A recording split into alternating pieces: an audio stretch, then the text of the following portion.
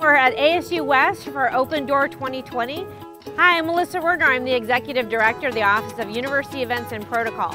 This is the seventh year that we've hosted Open Door at all of our campus and the ninth year that we've done Open Door at ASU.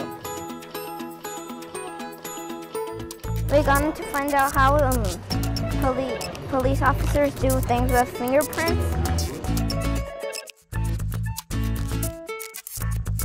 So Open Door is a tremendous opportunity for the community to come in and see what's happening at ASU.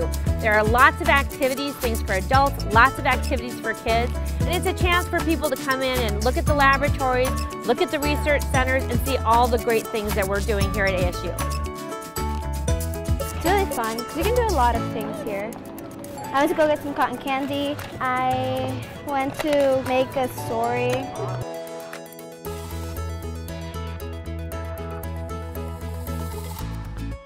Literally there's so much happening. I have a hard time remembering all the activities that are going on on all the different campuses. But if you come out, you might get to meet Sparky. You'll have your photo taken with a cap and gown to see what a future Sun Devil looks like.